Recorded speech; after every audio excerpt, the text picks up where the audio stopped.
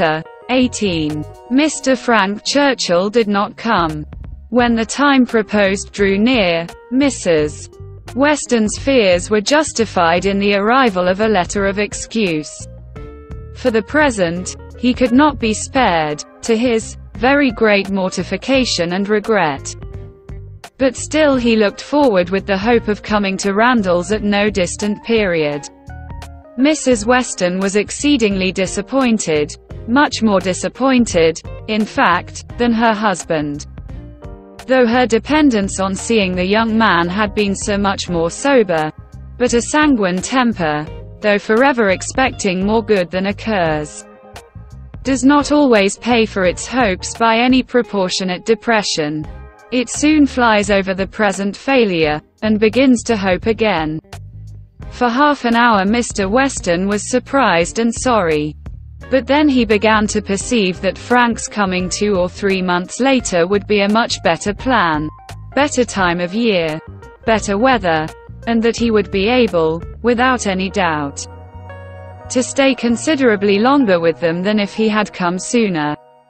These feelings rapidly restored his comfort, while Mrs. Weston, of a more apprehensive disposition, foresaw nothing but a repetition of excuses and delays, and after all her concern for what her husband was to suffer, suffered a great deal more herself.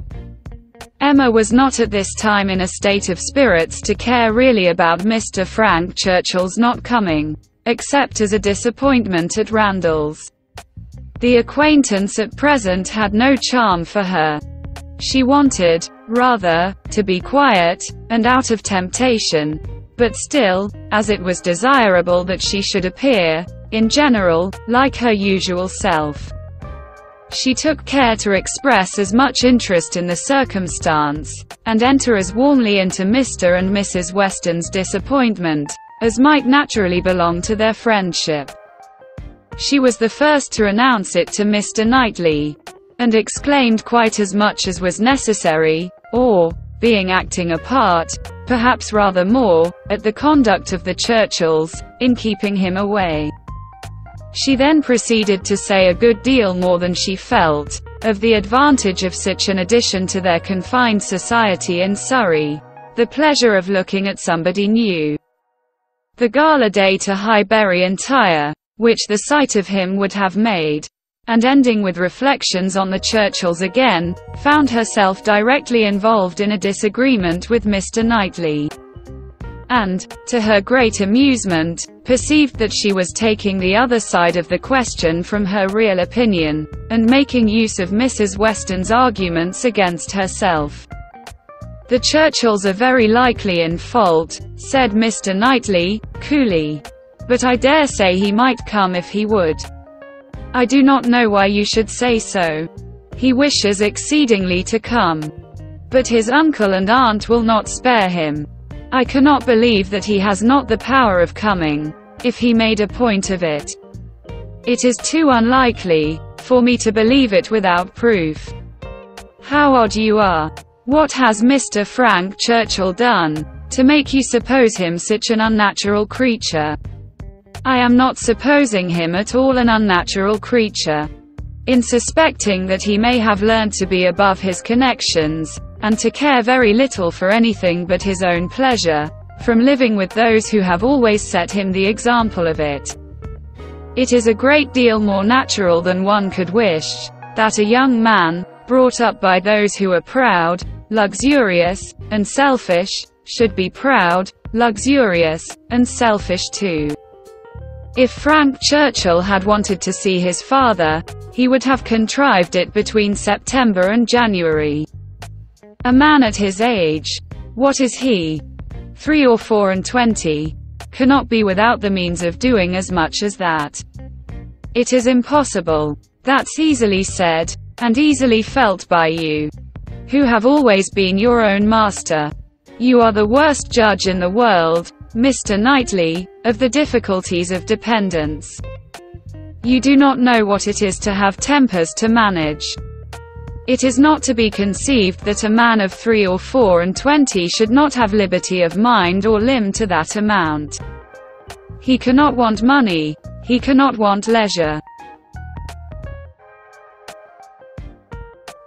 We know, on the contrary, that he has so much of both, that he is glad to get rid of them at the idlest haunts in the kingdom. We hear of him forever at some watering place or other. A little while ago, he was at Weymouth. This proves that he can leave the Churchills. Yes. Sometimes he can. And those times are whenever he thinks it worth his while. Whenever there is any temptation of pleasure.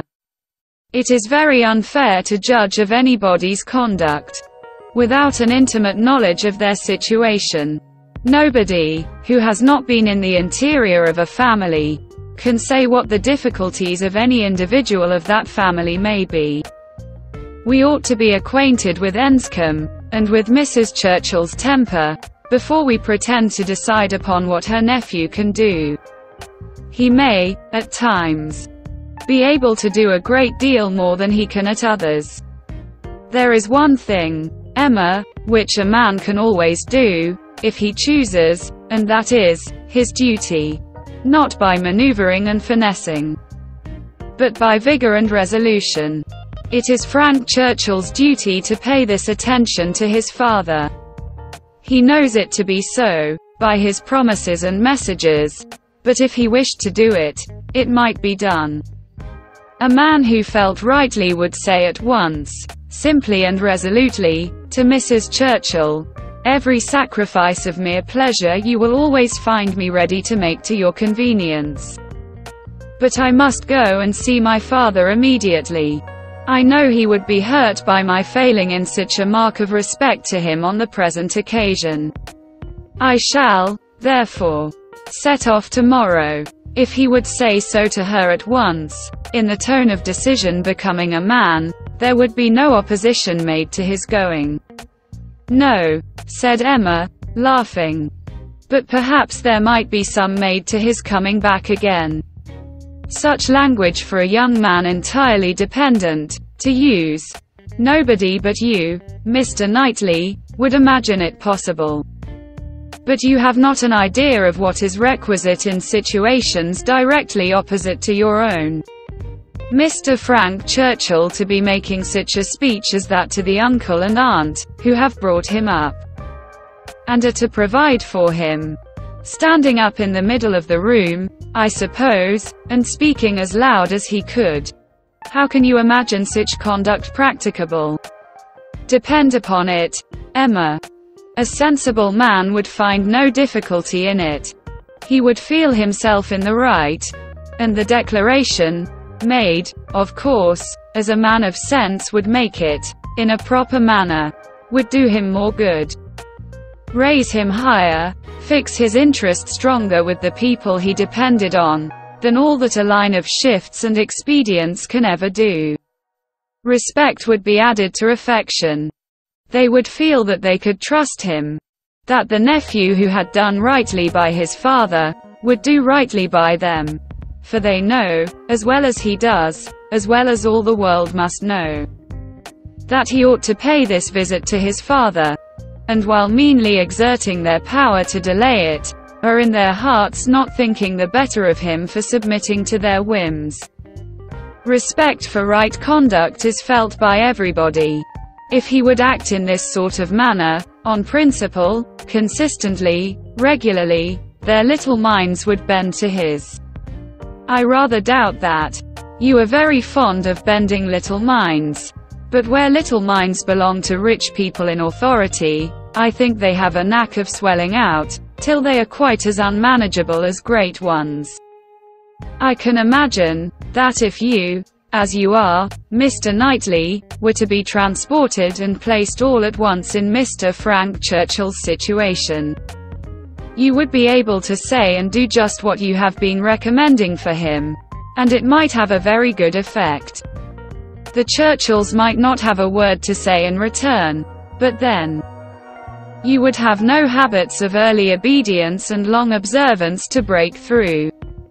To him who has, it might not be so easy to burst forth at once into perfect independence and set all their claims on his gratitude and regard at naught.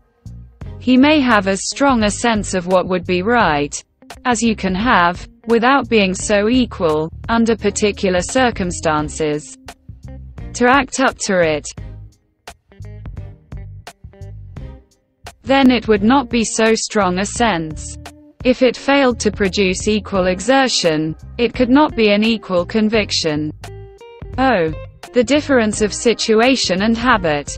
I wish you would try to understand what an amiable young man may be likely to feel in directly opposing those whom as child and boy he has been looking up to all his life.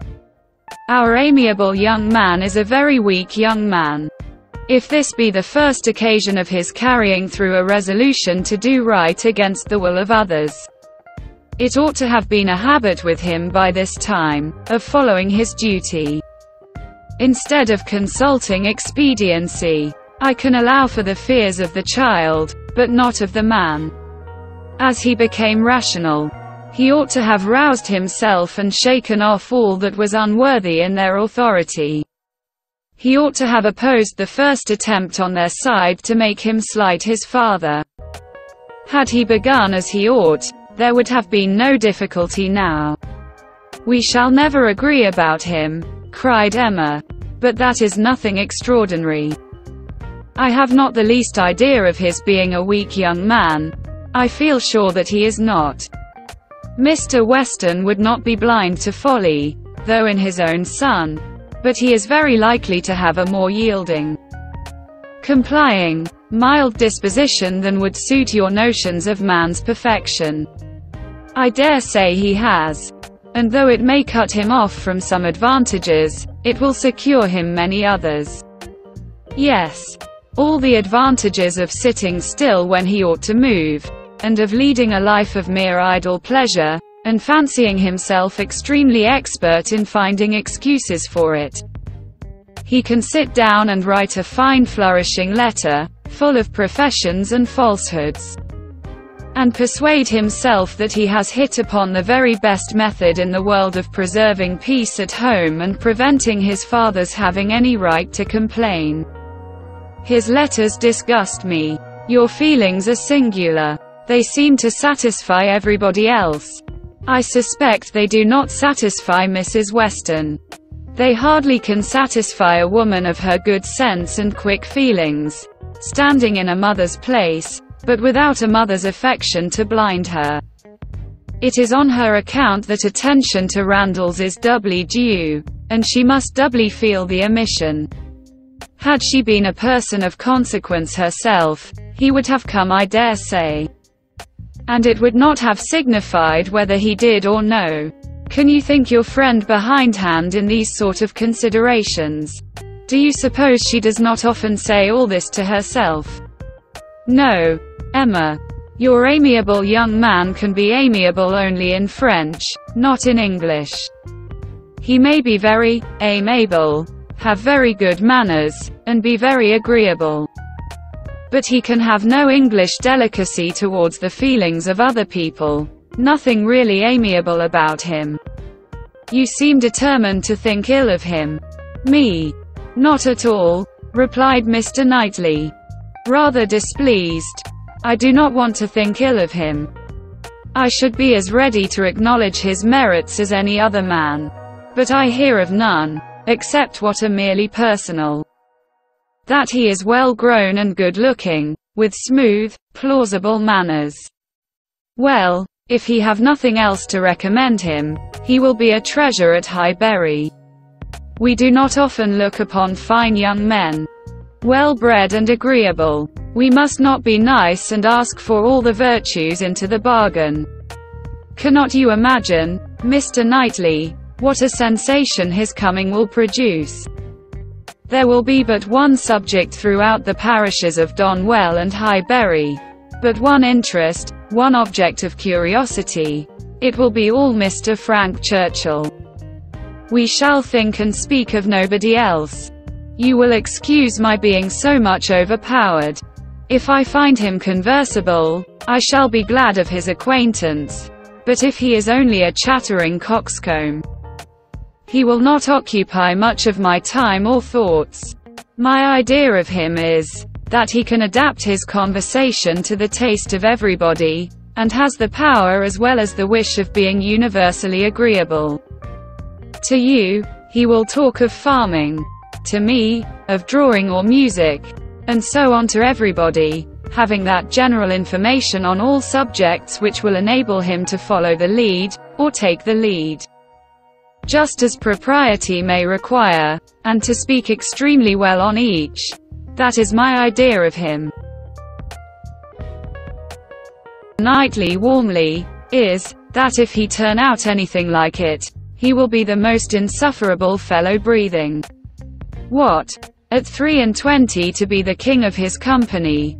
The great man, the practiced politician, who is to read everybody's character and make everybody's talents conduce to the display of his own superiority, to be dispensing his flatteries around, that he may make all appear like fools compared with himself. My dear Emma, your own good sense could not endure such a puppy when it came to the point. I will say no more about him, cried Emma. You turn everything to evil. We are both prejudiced. You against, I for him. And we have no chance of agreeing till he is really here. Prejudiced. I am not prejudiced. But I am very much, and without being at all ashamed of it. My love for Mr. and Mrs. Weston gives me a decided prejudice in his favor. He is a person I never think of from one month's end to another, said Mr. Knightley, with a degree of vexation which made Emma immediately talk of something else, though she could not comprehend why he should be angry. To take a dislike to a young man, only because he appeared to be of a different disposition from himself, was unworthy the real liberality of mind which she was always used to acknowledge in him For with all the high opinion of himself, which she had often laid to his charge, she had never before for a moment supposed it could make him unjust to the merit of another. अठारह mister Frank Churchill नहीं आए जब तजवीज करदा वक्त करीब आया तो मिसेस वेस्टन के खौफ को अजर के खत की आमद में दुरुस्त करार दिया गया उस वक्त के लिए इसे इसकी इंतहाई बड़ी नदामत और पशीमानी से बचाया नहीं जा सकता था। लेकिन फिर भी वो रैंडल के पास आने की उम्मीद के साथ मुंतजर था। मिसेस वेस्टन बहुत ज़्यादा मायूस थी। हकीकत में अपने शोहर से कहीं ज़्यादा मायूस, हालाँकि इस नौजवान को देखने पर उनका इहिसार बहुत ज़्यादा हो गया था। लेकिन एक संजीदा मिजाज अगरचे हमेशा के लिए उम्मीद की जा रही थी। इससे ज़्यादा अच्छा होता है, हमेशा किसी मुतनासब अफसरदगी से अपनी उम्मीदों की अदायगी नहीं करता है। ये जल्द ही मौजूदा नाकामी पर उड़ जाता है और दोबारा उम्मीद करने लगता है। आधे घंटे तक मिस्टर वेस्टन हैरान और अफसोस करते रहे। लेकिन फिर इसने महसूस करना शुरू किया कि फ्रैंक का दो या तीन माह बाद आना बहुत बेहतर मंसूबा होगा। साल का बेहतर वक्त, बेहतर मौसम, और ये कि वो बगैर किसी शक के उनके साथ काफ़ी देर तक रहने के काबिल हो जाएगा अगर वो जल्द आ गया हो। इन एहसास ने तेज़ी से उसका सुकून बहाल कर दिया, जबकि मिसेस वेस्टन ज़्यादा खौफजदा मिजाज की, बहाने और ताखिर की। तकरार के सवा कुछ नहीं देखती थी। और इसकी तमाम तर तशवीश के बाद उसके शोहर को क्या तकलीफ़ उठानी पड़ रही थी, उसने खुद को बहुत ज़्यादा नुकसान पहुँचाया। एमा उस वक्त रू की ऐसी हालत में नहीं थी कि वो मिस्टर फ्रैंक चर्चल के ना आने की परवाह करे, सिवाय रैंडल की मायूसी के। इस वाकिफ कार में फ़िलहाल इसकी कोई तवज्जो नहीं थी। वो चाहती थी, बल्कि खामोश रहना और आजमाइश से बाहर, लेकिन फिर भी, जैसा कि ये मतलूब था। कि वो ज़ाहिर हो आमतौर पर, अपने मामूल की तरह, उसने हालात में ज़्यादा से ज़्यादा दिलचस्पी का इजहार करने का ख्याल रखा, और मिस्टर और मिसेस वेस्टन की मायूसी में इतनी ही गर्म जोशी से दाखिल हुई, जैसा कि कुदरती तौर पर इससे ताल्लुक रखता है। उनकी दोस्ती। वो मिस्टर नाइटली को इसका ऐलान करने वाली पहली थी। और चर्चिल के तर्ज अमल पर। जितना ज़रूरी था या शायद इससे कहीं ज़्यादा। जी हाँ उसके बाद उसने सररी में उनके मजदूर मुआशरे में इस तरह के इजाफे के फ़ायदे के बारे में अपनी सोच से कहीं ज़्यादा अच्छी बात कही। किसी नए को देखने की खुशी गाला डे टू हाई दफन करने के लिए पूरे पूरे जो इसकी नज़र ने बना दिए होंगे। और चर्चिल पर दोबारा रदमल के साथ इख्तिताम पजीर हुआ। खुद को मिस्टर नाइटली के साथ इख्तिलाफ में बराह रास्त मुलवस पाया और इसकी बड़ी तफरी के लिए उसने महसूस किया कि वो अपनी हकीकी राय से सवाल का दूसरा रुख ले रही है और मिसेज वेस्टन के दलाइल को अपने खिलाफ इस्तेमाल। कर रही है। मुमकिन है चर्चिल की गलती हो। मिस्टर नाइटली ने ठंडे लहजे में कहा। लेकिन मैं ये कहने की हिम्मत करता हूँ कि अगर वो आता तो वो आ सकता है। मैं नहीं जानता कि आपको ऐसा क्यों कहना चाहिए। वो आने की बेहद ख्वाहिश करता है। लेकिन इसके चचा और खाला उसे नहीं बख्शेंगे। मैं यकीन नहीं कर सकता कि इसके पास आने की ताकत नहीं है। अगर उसने उसकी तरफ़ इशारा किया। मेरे लिए बगैर सबूत के इस पर यकीन करना बहुत कम इम्कान है। तुम कितने अजीब हो। मिस्टर फ्रैंक चर्चल ने ऐसा किया किया है? कि आप उसे एक गैर फितरी मखलूक समझी?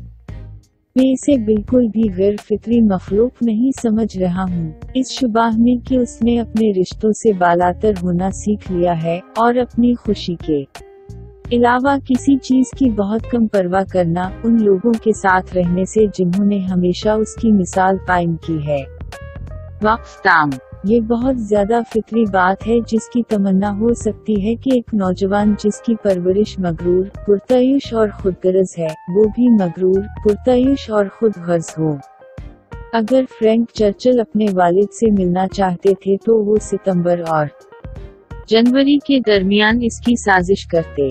एक आदमी अपनी उम्र में वो किया है, तीन या चार और बीस, इससे ज़्यादा करने के जराये के बगैर नहीं रह सकता। ये नामुमकिन है, ये आसानी से कहा गया है, और आपने आसानी से महसूस किया है, जो हमेशा आपके अपने मालिक रहे हैं। आप दुनिया के बदतरीन जज हैं, मिस्टर नाइटली इन्हिसार की मुश्किलात के। तुम नहीं जानते कि गुस्से को संभालना किया होता है। ये तस्वुर नहीं किया जा सकता कि तीन या चार और बीस साल के आदमी को इस मकदार में दिमाग या अजा की आज़ादी नहीं होनी चाहिए वो पैसा नहीं चाहता, वो फुर्सत नहीं चाहता। के बरकस हम जानते हैं कि इसके पास दोनों में से बहुत कुछ है, कि वो बादशाही के सबसे बेकार मकामात पर उनसे छुटकारा पाकर खुश है। हम इसके बारे में हमेशा के लिए किसी न किसी पानी की जगह पर सुनते हैं। दूसरे थोड़ी देर पहले, वो वेमाउथ में था। इससे साबित होता है कि वो चर्चल को छोड़ सकता है। हाँ कभी कभी वो कर सकता है। और वो औकात वो होते हैं जब वो अपने वक्त के काबिल समझता है। जब भी लजात का लालच आता है, किसी भी जिस्म के तर्ज अमल का फैसला करना, उनकी सूरत हाल के बारे में गहरे इल्म के बगैर बहुत गैर मुनसिफाना है। कोई भी, जो किसी खानदान के अंदरूनी हिस्से में न रहा हो, ये नहीं कह सकता कि इस खानदान के किसी फर्द की मुश्किलात किया होंगी। इससे पहले कि हम ये फैसला करने का बहाना करें कि उनका भतीजा क्या कर सकता है, हमें अंसकुम और मिसेस चर्चिल के मिजाज से वाकिफ होना चाहिए। वो बाज औकात दूसरों के मुकाबले में बहुत ज़्यादा काम करने के काबिल हो सकता है। एक चीज़ है, एमा, जो आदमी हमेशा कर सकता है, अगर वो चाहे, और वो है, इसका फ़र्ज़, चालबाजी और जुर्माने से नहीं बल्कि जोश और अज़म से। ये फ्रैंक चर्चल का है। अपने वालिद की तरफ़ तवज्जो देना फ़र्ज़ है। वो अपने वदों और पीगामात से जानता है। लेकिन अगर वो ये करना चाहे तो ये किया जा सकता है। एक आदमी जिसने सही महसूस किया वो फ़ौरन ही मिसेस चर्चल से कहेगा, महज खुशी की हर कुर्बानी आप मुझे हमेशा अपनी सहूलत के लिए तैयार पाएँगे। लेकिन मुझे फ़ौरन जाकर अपने वालिद से मिलना चाहिए। मैं जानता हूँ कि मौजूदा मौका पर उनके एहतराम के इस तरह के निशान में मेरी नाकामी से उसे तकलीफ़ होगी। इसलिए मैं कल ही रवाना हो जाऊँगा। अगर वो मर्द बनने के फैसले के लहजे में उसे फ़ौरन कह देता तो उसके जाने की कोई मुखालफत न होती। नहीं, एमा ने हँसते हुए कहा। लेकिन शायद इसके दोबारा वापस आने के लिए कुछ बनाया गया हो। मुकम्मल तौर पर इनहिसार करने वाले नौजवान के लिए ऐसी जबान इस्तेमाल करने के लिए आपके अलावा कोई और, मिस्टर नाइटली, इसका तस्वुर भी नहीं कर सकता। लेकिन आपको इस बात का अंदाज़ा नहीं है कि आपके अपने के बरकस हालात में किया ज़रूरी है। मिस्टर फ्रैंक चर्चिल ऐसी तकरीर कर रहे होंगे जैसे चचा और खाला से, जिन्होंने उनकी परवरिश की है और उनकी परवरिश करने वाले हैं, मेरा ख्याल है, कमरे के बीच में। खड़े होकर और इतनी ही ऊँची आवाज़ में बोल रहे हैं जैसे वो कर सकते हैं, आप ऐसे तर्ज अमल का तस्वुर कैसे कर सकते हैं? इस पर मुनहसर है, एमा, एक समझदार आदमी को इसमें कोई मुश्किल नहीं मिलेगी। वो खुद को सही में महसूस करेगा। और ऐलान? यकीनन जैसा कि एक बाशोर आदमी उसे सही तरीके से करेगा उसके लिए ज़्यादा अच्छा करेगा उसे ऊँचा करेगा उसकी दिलचस्पी उन लोगों के साथ ज़्यादा मज़बूत करेगा। जिन पर वो इन्हिसार करता है इस सबसे ज़्यादा तब्दीलियाँ और मसलहत पसंद कभी भी कर सकते हैं। एहतराम में प्यार का इजाफा होगा। वो महसूस करेंगे कि वो इस पर भरोसा कर सकते हैं। कि भतीजा जिसने अपने बाप की तरफ़ से नेकी की थी, वो उनके ज़रिए ठीक करेगा, क्योंकि वो जानते हैं, जैसा कि वो करता है, और साथ ही तमाम दुनिया को मालूम होना चाहिए, कि उसे अपने बाप से ये मुलाकात करनी चाहिए। और इसमें ताखिर के लिए अपनी ताकत। का इस्तेमाल करते हुए, अपने दिलों में अपनी ख्वाहिशात के आगे सर तस्लीम खम करने के लिए उसके लिए बेहतर नहीं सोचते। सही अखलाक का एहतराम हर शख्स महसूस करता है। अगर वो इस तरह से उसूली तौर पर, मुस्तकिल तौर पर बाकायदगी से काम करेगा तो उनके छोटे दिमाग उसकी तरफ़ झुक जाएँगे। मुझे इस पर शक है। आपको छोटे दिमागों को झुकाने का बहुत शौक है। लेकिन जहाँ छोटे दिमाग इख्तियारात में अमीर लोगों के होते हैं, मैं समझता हूँ कि उनके अंदर सूजन की सलाहियत है, जब तक कि वो बड़े लोगों की तरह बेकाबू हो जाएँ। मैं तस्वुर कर सकता हूँ कि अगर आप, जैसा कि आप हैं, मिस्टर नाइटली को ले जाया जाए और मिस्टर फ्रैंक चर्चिल की सूरत हाल में एक साथ रखकर आप वही कह सकेंगे और कर सकेंगे जो आप उनके लिए तजवीज कर रहे हैं और इसका बहुत अच्छा असर हो सकता है। चर्चल के पास बदले में कहने के लिए शायद कोई लफ्ज न हो। लेकिन इसके बाद आपको इब्तदाई अतात और तवील पाबंदी की आदत नहीं होगी।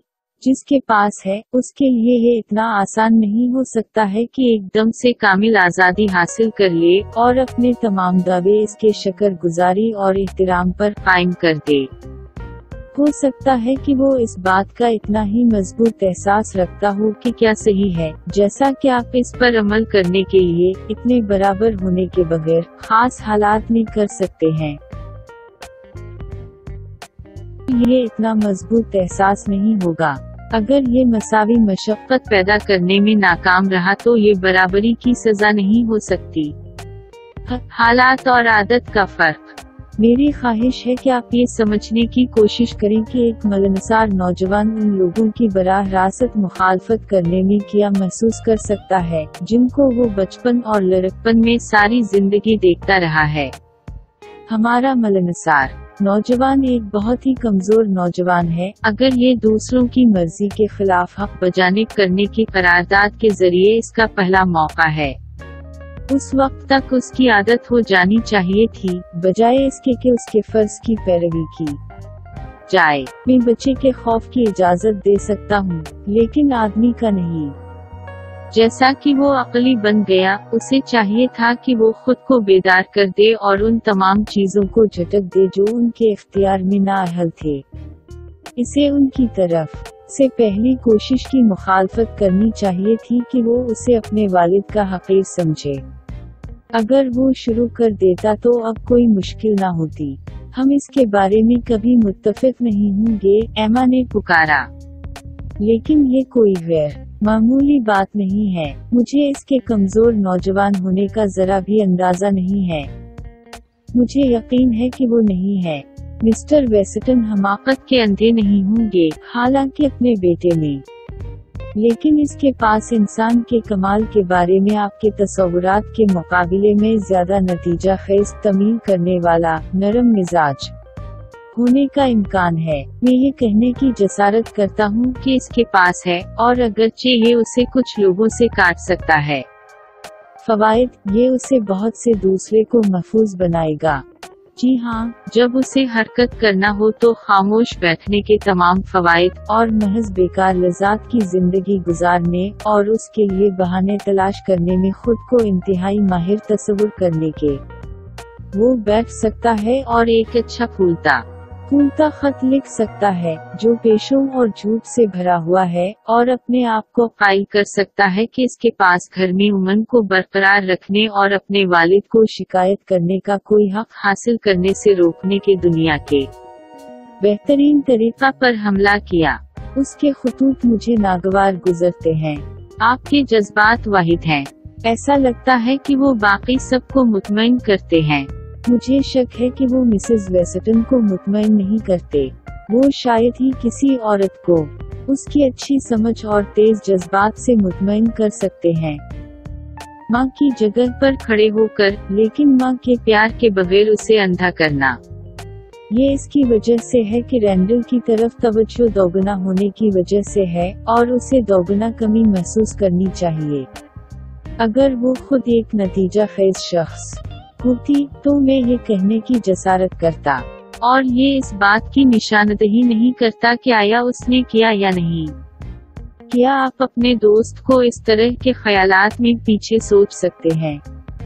क्या आपको लगता है कि वो अक्सर ये सब खुद से? नहीं कहती, नहीं। एमा, आपका मलनसार नौजवान सिर्फ़ फ्रांसीसी में ही मलनसार हो सकता है, अंग्रेज़ी में नहीं।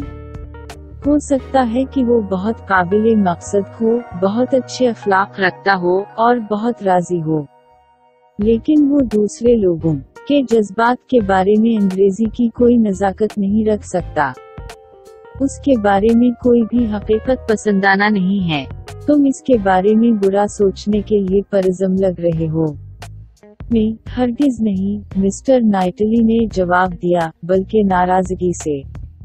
मैं इसके बारे में बुरा नहीं सोचना चाहता। मुझे किसी दूसरे आदमी की तरह इसकी खूबियों को तस्लीम करने के लिए तैयार होना चाहिए। लेकिन मैंने कोई नहीं सुना, सिवाय उसके जो महज जाती हो, कि वो हमवार, काबिल फहम आदाब के साथ अच्छी तरह से बड़ा हुआ और अच्छा नज़र आता है। ठीक है, अगर उसके पास इसकी सिफारिश करने के लिए और कुछ नहीं है तो वो आला दफन में एक खजाना होगा। हम अक्सर अच्छे जवानों पर नज़र नहीं डालते, अच्छी नस्ल और रजामंद। हमें अच्छा नहीं होना चाहिए और तमाम खूबियों को सौदा में तलब करना चाहिए। क्या आप तस्वुर नहीं कर सकते, मिस्टर नाइटली, इसके आने से क्या एहसास पैदा हो? गा जानविल और हाई बेरी के पूरे पारिशों में सिर्फ़ एक ही मजमून होगा। लेकिन एक दिलचस्पी, तजस्स की एक चीज़, ये सब मिस्टर फ्रैंक चर्चिल होगा। हम किसी और के बारे में सोचेंगे और बोलेंगे, तुम मेरे बहुत ज़्यादा ताकत वाले होने को माफ़ करोगे। अगर मैं उसे बात करने वाला पाता हूँ तो मैं इसके जानने से खुश हूँगा। लेकिन अगर वो सिर्फ़ चहचाने वाला काकस काम है तो वो मेरे ज़्यादा वक्त या ख्यालात पर कब्जा नहीं करेगा। इस के बारे में मेरा ख्याल ये है कि वो अपनी गुफ्तगु को हर एक के जौक के मुताबिक ढाल सकता है, और उसमें ताकत के साथ साथ आलमी तौर पर मुतफिक होने की ख्वाहिश भी है। आपसे वो खेती बाड़ी की बात करेगा। मेरे लिए ड्राइंग या मौसीकी की, और उसी तरह हर एक के लिए तमाम मजामी के बारे में वो उमूमी मालूम होना जो उसे इस काबिल बनाएगी कि वो क्यादत की पैरवी कर सके या क्यादत ले सके, बिल्कुल उसी तरह जैसे मुनासिबीत की ज़रूरत हो, और हर एक पर बहुत अच्छी बात कर सके। ये इसके बारे में मेरा ख्याल है। और मेरा, मिस्टर नाइटली ने गर्मजोशी से कहा, यह है कि अगर वो ऐसा कुछ भी निकालता है तो वो सानस लेने में सबसे ज़्यादा नाकाबिल बर्दाश्त साथी होगा। किया।